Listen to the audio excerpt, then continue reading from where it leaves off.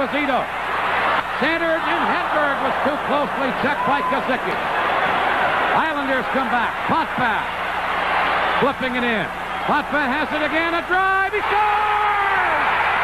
Denis Potvin!